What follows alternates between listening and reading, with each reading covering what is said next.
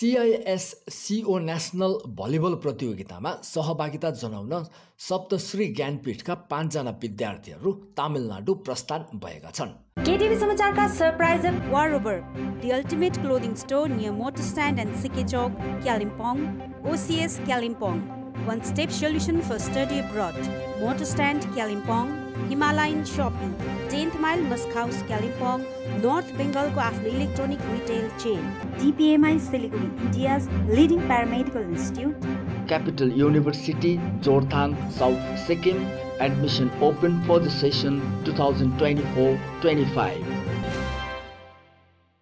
सप्तश्री ज्ञानपीठले विभिन्न प्रतियोगितामा सहभागिता जनाउने गरेको छ। यस वर्ष स्कुलको पहलमा चौध वर्ष मुनिको केटी वर्गमा बङ्गाल अनि पूर्वोत्तर क्षेत्रलाई नै प्रतिनिधित्व गर्दै भलिबल टोलीले राष्ट्रिय स्तरीय प्रतियोगितामा सहभागिता जनाउने भएको हो। उक्त प्रतियोगिता तामिलनाडुमा हुने भएको छ।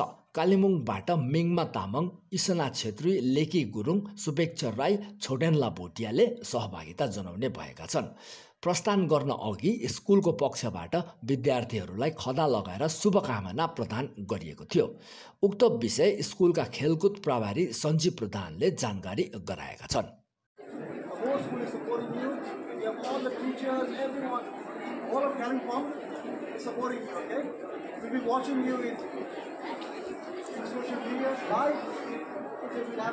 TV on,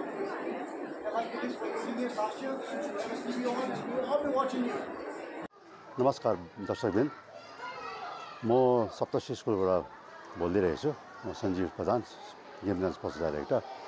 र आज हाम्रो नानीहरू under fourteen girls West Bengal and North इस्टलाई represent गरेर तामिलनाडु कोटागिरीमा नेसनल्स खेल्न गइरहेको छ प्रस्थान भइरहेको छ। र हाम्रो स्कुल आज मिरिक जाँदैछ नानीहरू।